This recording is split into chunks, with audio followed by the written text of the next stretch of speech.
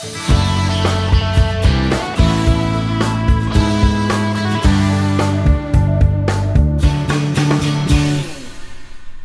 of the first things you want to do with your Blackboard gradebook is to add your assignments into the gradebook, and it's an easy three-step process.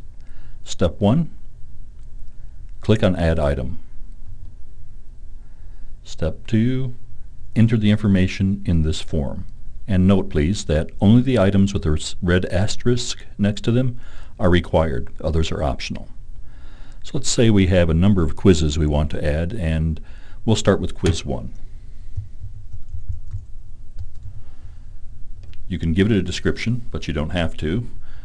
Nor is it are you required to specify a particular kind of uh, category, but these are the categories that are available. The only other thing you must put in is how many points are possible on this quiz. I will put in 50 points. And then you have the option of displaying it as a score, complete, incomplete, a letter, percentage, or text. And generally, given the way that the average uh, individual tracks grades in their classes, they're usually going by points. Uh, so I'm just going to leave this as a score.